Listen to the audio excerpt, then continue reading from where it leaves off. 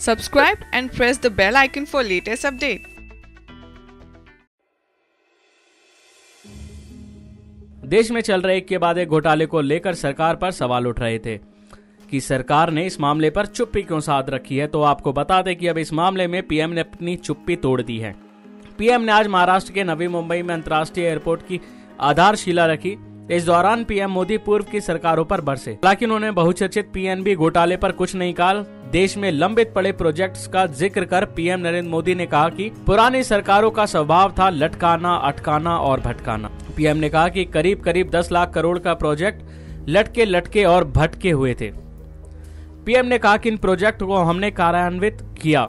धन का प्रबंध किया और आज तेज गति से वो काम आगे चल रहे हैं। इसी में से एक नवी मुंबई एयरपोर्ट का काम है। इस मौके पर पीएम नरेंद्र मोदी ने उभरती अर्थव्यवस्था में उड्डयन सेक्टर के महत्व को रेखांकित किया।